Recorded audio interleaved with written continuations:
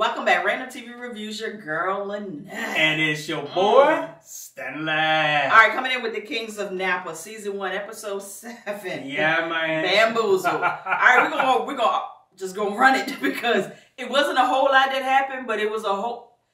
It's a Yeah. lot of holes, y'all, and, and and I don't even know what to think at this point. Yeah, because they got so many moving parts. That the, I said they put the capital D in dysfunction. Hello, and let's address the elephant in the room. Yeah. Oh, yeah. we're we on on, vacation. We on vac- yeah, yeah. We're working on vacation so that I can claim this as a deduction on my tax. So last week, y'all know Auntie Melody fell down when the police pushed her, which we have not addressed. It's almost like when it happened to Mr. Prosper over there on Greenleaf. Yeah, Not yeah. Greenleaf, um, Queen Sugar. Quick shit, yeah. Nobody ever addressed police brutality Yeah. at all. So anyway, she got pushed and she hit her head, started foaming at the mouth. So we have the entire King family over at the hospital. So you have Dana talking about some, hey, nurse, we're kings. My dad was the head of surgery over here. You need to tell me what's going on with my aunt. Nurse was like, hey, you need to sit here and wait for the doctor. Just like everybody Just else. like everybody else. 'cause What you're not going to do is make, make me risk my good job, my good benefits, fooling Yeah. around with your king tail. So the mom of Vanessa was like, you know what? I learned something from the good old pastor. In times like this, we just need to pray. Pray. And they looking at each other like, when we start yeah, praying? Yeah. So then August looks at Dana was like, yeah, you need to pray for forgiveness for what you did to Bridget. So they just going on and on and on.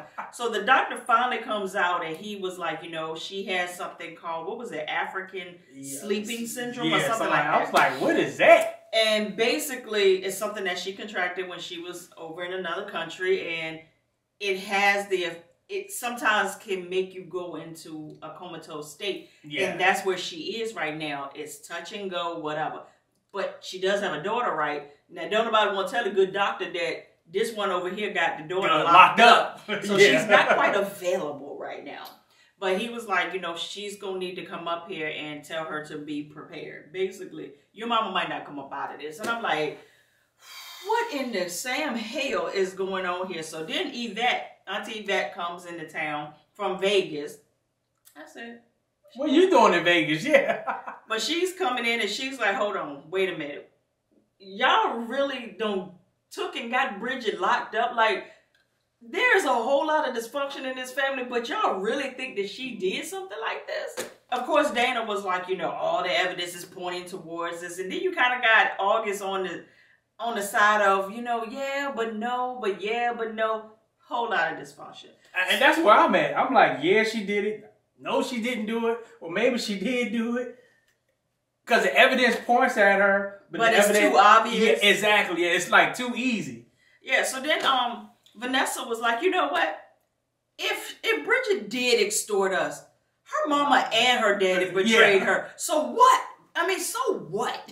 I'm like, so now everybody looking at her, and Dana was like, oh, so you de- protecting and defending her better than you do You your own children. He said, oh, I forgot. You left us. I said, here we freaking go, right? and then she told myself, now I see why Rose left you. And then later on, gonna come back and talk about some. You really want to talk about it? Like, what's going on with you? It. What's, have you talked to Rose? I am fine. I am quite fine because now he get this little pee pee massage by this Uh, masseuse yeah. that he keep hiring and coming up Not a masseuse, but A masseuse- lot of a lot of. at at some point. So um, Dana tells his mama, "Look, let me tell you what's really going on at this point. My wife is confused, and right now she don't know what she won't do." So unless I can grow me some tits, then I don't know what to do with this. I said, oh. So Vanessa's looking at him like, But we still got no transition of Brit of um, Rose leaving out of town. Like we know and what happened? Yeah, the last the last thing we seen was when her and Bridget was was kissing, and she said, "I can't do it because I'm getting ready to have a baby with Dana," and then you just disappear. And there's, so is she even pregnant? I like, there is a whole lot going on that, like you said, there, is there an episode in between these episodes that we missed? Because there's no transition. But any hoodles. So over at the press release, right, they have this little thing going on where it's supposed to create a buzz, get to know who's who in their room, so they can start talking about this wine that they'll get ready to launch and whatnot. So at some point, we saw oh um, Reporter Bay. Y'all remember Yeah. Reporter Bay? that caught the family dysfunction on camera, and she was going to put that out there for the world to see. Yep. But Vanessa pulled in some, called in some strings to be pulled back, and homegirl wasn't able to do that. But now she done swindled her way into this private press release. So they're looking at her like, like, oh, so she's a wine critic now? they're like, what the hell's going on? So she came there to drop off some dirty laundry. Aww. So in the release, she was like, hmm, this wine is good, quite familiar. Kind of like the one that Sean and Sean is about to release. Oh, you're not aware that a couple of weeks ago they had a secret tasting and that they're going to launch um, their wine very similar to yours, better price point, better profit margins, all this good stuff. So now you got August over there getting ready to go into a whole Yeah. panic attack because her family and this business is riding on this It's wine. dessert wine, yeah. So next thing we know, we see Dana and Christian go over there to Sean and Sean trying to shake them up because now we realize what the hell don't happen. Bridget went over there when Mhm. she was working for them and done ran her mouth about what they're gonna do over at the Yep. Kings. And they're going, to, Sean and Sean was like, oh, we about to do our own as well. And she even probably gave them the release date so they Yep. pop- position themselves to be able to release Yep. months before they did. I said, ain't this about a blip? But at the end of the day, kind of like what Vanessa said in the beginning, can you blame Bridget for, For all doing what she's doing. doing? Yeah. And now, not only that, and the treatment that she's getting from them. Hello, so now it's, al- it's almost justifiable at this Like, moment. yeah. Like when Vanessa said, you know what, if she was extorted us so freaking Freaking- wet. Yeah.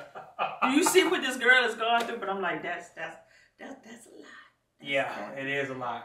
That's a lot. But anyway, so um Yvette goes down there to the jail, right? And she's talking to Bridget. She's like, Bridget, I know you didn't do this. I was like, Well, we don't know. Uh, We don't know Yvette. nothing. We don't know nothing. We don't know NATO. We don't know nothing. We're just hoping that she ain't the dead. So Bridget is in there and she was like, you know, my family should know me by now. This is this and this is that. Bridget ended up, um, no, Auntie Yvette ended up going over that. We're gonna run through this because it wasn't a whole lot. And Bridget's not giving you a whole lot. And if you ask her questions, she answers your questions with a question. Question. Yep. So Yvette goes over there to Calvin and was like, hey yo, I'm gonna need you to represent Bridget and I'm gonna need you to do it ASAP. I was like, how? How, Sway? And um, he was like, "You do know that a lot of evidence is pointing towards her guilt, right?"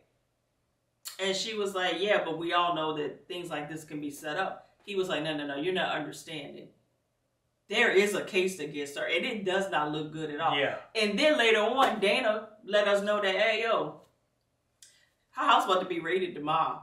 So whatever she got in that house while she's in the jail, she can't even prepare to hide it from them in the raid because house wide open. She about everything about to be found out. So Calvin is privy to a whole lot of this information, but Auntie Yvette shook him down with the, you know what we've done for you, Uh-huh. for you. We got you out of foster care. Yeah, yep. We did this and we did that. So, So, basically, how? you would have a life you got now, but wasn't for us. So how can you say no to that? Even with him bucking down August. So next day we know, all right, he's representing Bridget. He's getting Bridget out of jail. And he's telling her, say, hey, it may look good for you to just go ahead and take a plea. plea. And she was like, why would I take a plea deal when I'm not guilty? He was like, there is a lot of guilt in the evidence that we have Yeah, found. So you can get 20. I said, God, whoa. darn. So, long story short, eventually he came to her with the proposition that hey, you need to clean yourself up and go to see your mama, but clean yourself up first. It's a whole lot of touch and go. But because you could get 20 years for this and it's a felony, they are prepared to offer you a plea of six months, five months suspended, so which means she's gonna serve one month Uh-huh. and five hundred thousand dollars in restitution. My God. So she says, so wait a minute.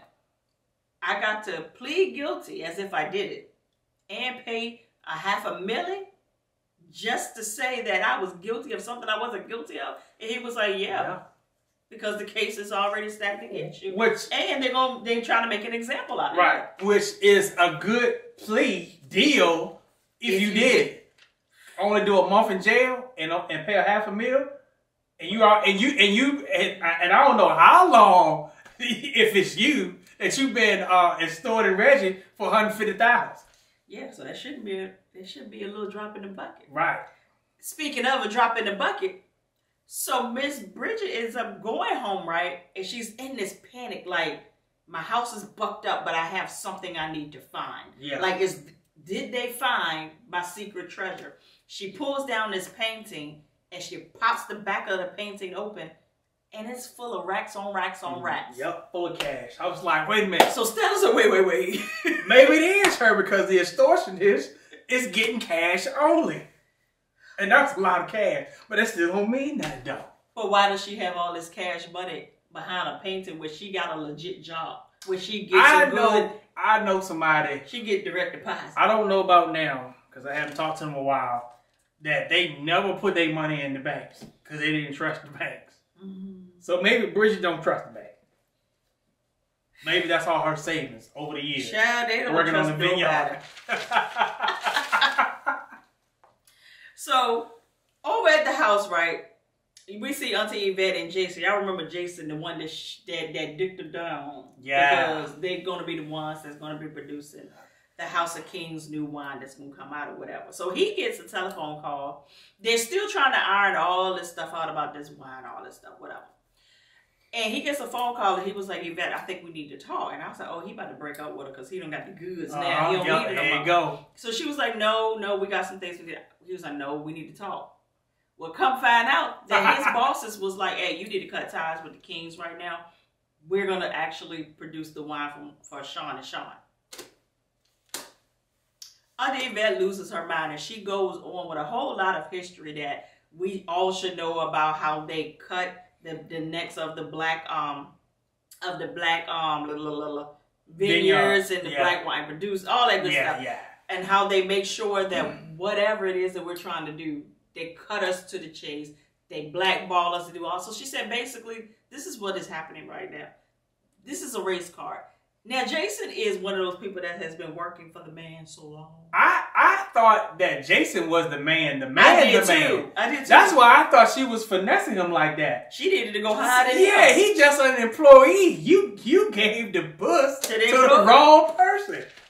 So now you still ain't got no. yeah, I was like, what? But he really liked her though. yeah, he do. Yeah, he. So yeah, like I said, he was he been working for the man for so long. He doesn't understand when the lines are being crossed. Cross. Yeah. into this bias and non-biased thing. Because at the end of the day, even if they had the same two wine blend, the You kings the kings came to them first and they worked out a deal. That's it. So it's clearly why the reason why they switched was the race car. Clearly. Yep. It ain't got to do with the price point or anything like that because what do they care? They still gonna get distributors gonna still get their money. They still don't get their money. yeah. So later on, we see Dana. Dana is still wilding out. So he has masseuse after masseuse Yeah. after masseuse. He's walking around the house in a towel, and Christian is looking at him like, like, "What the hell is going like on ninja, with you, what the bro?" fuck is you doing? Now you know it's bad. Yeah. when a sibling calls another sibling's wife, ex, or Yeah. anything to get them straight. Christian called Rose and was like, "Hey, hey, sis, sis, I you got my bro out here bugging. Oh, he messed up. He is messed up. Like he's got mas- masseuses come. He was. This is not this, what we, ain't, this ain't even his style. this ain't his style at all. Like you remember this, and you remember how he used to hold your hand, and how, you make him a better man. You know this this guy right here. We need you, Rose. Rose, But he was, but come he was, he was talking like Dana was out there straight wilding before Rose came in his life, He probably- like reckless wilding. Look how reckless he is with the family he loves. Good point. Can yeah, you good point. imagine how he is when Yeah. he's not in love? Yeah, left into himself. Yeah, dangerous. Dangerous as hell. Yeah. so I'm like, Rose, Rose, come on back. At least just to confront him so we can see it. If you want to leave him alone, just do the closure thing. But I don't know. But she did. She texted um Bridget too. I said, what in the, tang- the tangled web we, we, we got going on here? I don't even know at this point. So Calvin and August are talking, right? Because now Miss August is all upset because Calvin is representing Bridget. You of all people should understand, August, that this man has no choice but to represent Yeah. Bridget. I mean, at the end of the day, yes, that's your sister. But, but they like that though. Business Yes. business is business when it comes down to them, but when it's somebody else, it's personal. It's very. Yeah. So he was like, listen, I got a job to do. Like, I have this ethic code that I have to adhere to. And if I'm hired to do a job, I got to do a job no- regardless of who it is. Mhm. Then, long I gotta story make short, that bread. yeah. Then, long story short, Bridget calls him and was like, you know what? I'm my father. I'm more of my father than any of his other children are. And because I am innocent, I'm going to fight this thing to the death of me. I said, here we I go. I said, Lord have mercy. Then she we go. said, You're fired. So she done fired Calvin. Then within 20 minutes, she gonna call Calvin back, talking about some, you know what, psych, I need you. I need to hire you back. Said she played a game that, that, that Tariq done played on Tamika and Powell. The founder. And Brought her back. Uh-huh. No, that Tasha did. Tasha Tasha, fired. They hired her back because they need her. And then be like, No, I don't need you no more, you dismissed. I said, Calvin, don't even do it no more. You tell Auntie Yvette I tried, she fired me, she tried to hire me back. I don't have time for the emotional roller coaster that y'all do with each other. So I'm like, why would she do that? And I'm like, it's not that she don't have the money to hire somebody else, but at the same time, if she does hire somebody else, it's gonna prove that she has money. Right. So I believe that's what she came, she came to her senses was like, I can't afford in so many ways to hire somebody else because then where you get that money from? But Calvin expensive too. Calvin ain't getting paid for this. I'm pretty. This is a favor. You think so? It's a family favor. Pro bono. They're getting him out of there on foster care. He gonna forever pay this debt. You hear me? And that's one of the things he didn't want to do was forever have to pay a debt. That's why. That's why it's hard for me to let somebody do something for me. Me too. Cause you Because what you ain't fit to do is hold that skit over my head to play a card a later date in life to get what you want out of me. Yeah, that's like I Kane. ever. That's like Kane. Hey, we in this together. Go, Yeah. put, gotta pull that body up, Yeah, favor for a favor. and you, and it never ends. Now, Never now I believe that you ought to be good to the people that are good in you, to you in your life. But if you're doing it to get something from them, That's manipulation yeah, yeah, you don't do And that. And now I'm asking myself why you do it in the first place. right. Are you put Are you putting in so you can pull out later? Yeah. I ain't got time for that kind of stuff in my life. So Calvin tells August like, "Hey," because when she found out that now he wasn't going to be representing Bridget, like within that little twenty minute span of time, she was ready to go down in his pants, do what she do, and he was like, "Oh, oh, oh I want to take things slow. I want to do things differently. How about meeting my son? Oh, she's so happy, go lucky, whatever." But when he got hired again to go back with Bridget, he was like, "You know what? I got a case to prepare for." But when he said that, I said something ain't right. Mm-mm. Because you weren't thinking that when y'all was up out there at the At football field about taking it slow and, Uh-huh. and, and meeting your son. Yeah. But all of a sudden today, nah, we can't move in like that. Which I know you get ready to talk about it. So. He goes to leave out the door, and who's at the door? At August's door. His wife, Sonia. And she was like, I thought that were you two. And I was remember when they were doing that little run, somebody was yeah, Somebody somebody, went by. yeah. and they they made it obvious that they wanted us to see that there was somebody that ran past them. Yeah. And I was like, who the hell was that? Well, the wife realized that, yeah, that's them two that's looking all smitten and all of that. So you sleeping with her? And August was like, what is this all about? So the wife tells Calvin, say, you know this changes things, right? Like Change this really what? changes things that you're sleeping with somebody before the ink is dry on our divorce. And I'm like, yeah, what does that change? Yeah. Like yeah. what's going on here? But I always thought how ironic when uh, August was ready to give him some, he stopped her, and then the wife comes. and the wife comes right there. Which we always say we, we didn't trust Calvin, man. He, And why is the wife standing at your door? At the Yeah. door. Anyway, and then also, what are you doing in my house? but she was dressed like she was coming to pick them up to go For on a go date. dinner, yeah. yeah. I'm like, cause I'm, hey, would you came like that? Or would you came over there with oh, some, sweats, sweats, tennis shoes, Nikes. you be coming ready to fight? Yeah, Timberland boots actually, cause somebody gonna get stomped the hell out. Stomped the hell out. So then we see Bridget, right? I'm mad that we never got a scene when we saw Bridget go visit her mom. Yeah. Okay.